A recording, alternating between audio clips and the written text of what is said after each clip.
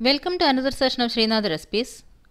Please subscribe to our channel and hit the bell icon to receive regular notifications.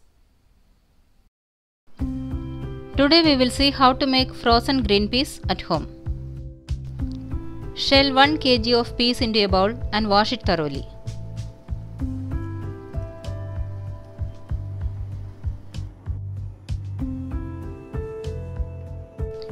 Boil 3 liters of water in a pan and add the peas into the boiling water.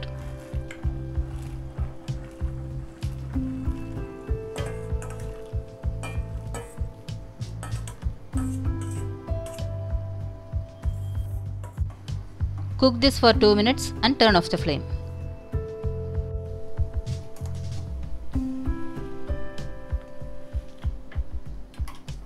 Now take out the peas and transfer it into a big bowl. Add some ice cubes.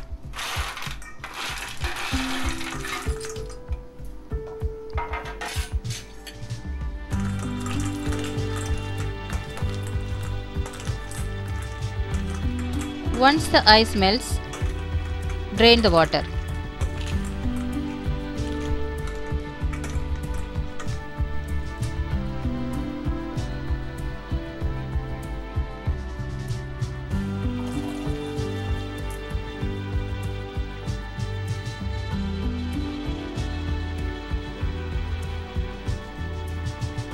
Now spread it on a muslin cloth and let it dry.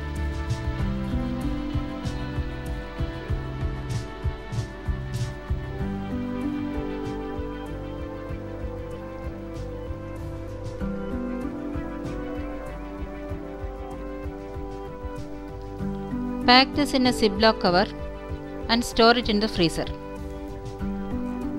Keep this out of freezer for half an hour before using. Please try it out and post your feedback.